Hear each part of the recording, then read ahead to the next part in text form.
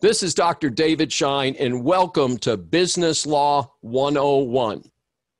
Uh, one of the things is is that uh, there's a perception that white collar crimes don't cause physical injury to people. So they've taken on a separate term called white collar crime. In fact, there was a uh, TV show on uh, cable called White Collar that specifically talked about uh, these. You know, they were a bunch of con con men and con women, and uh, they did all sorts of weird stuff. So it was called White Collar, and uh, but it's usually embezzlement or fraud or criminal crimes.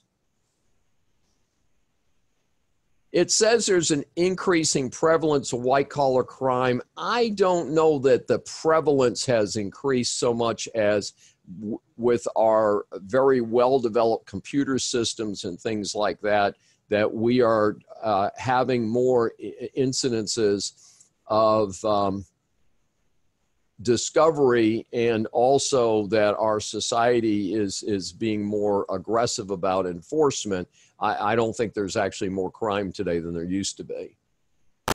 So in addition to criminal charges many cases uh, have civil lawsuits as well and i'm actually working on some articles. I have two articles in works right now uh, that deal with some of the criminal prosecutions that we're talking about here. So, uh, one of the things is is that uh, uh, sometimes people are prosecuted under the Racketeer Influenced and Corrupt Organizations Act, also known as RICO. So, RICO was developed to give the federal government, excuse me, tools to go after the mob, go after the gangsters who run uh, prostitution rings and drug rings and stuff like that.